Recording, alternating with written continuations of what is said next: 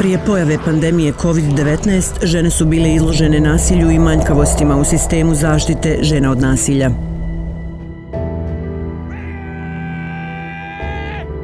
Već postojeći nedostaci i propusti ukazali su na nekoordiniranost i nespremnost sistema da se funkcionalno prilagodi kriznim situacijama.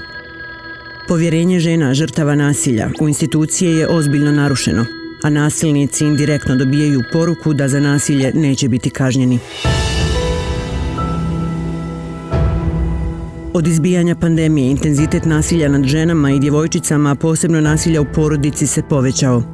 Od momenta donošenja naredbi o ostajanju kod kuće, prioritet profesionalaca u sistemu zaštite preusmjeren je na očuvanje vlastitog zdravlja i praćenje poštivanja donešenih mjera. Sve je ukazivalo da je nasilje nad ženama stavljeno u drugi plan.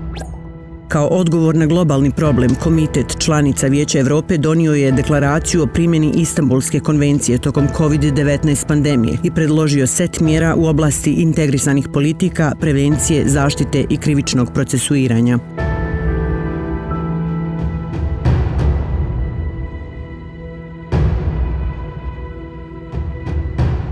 Pandemija ili bilo koja druga krizna situacija ne smiju biti izgovor za nefunkcionisanje sistema zaštite.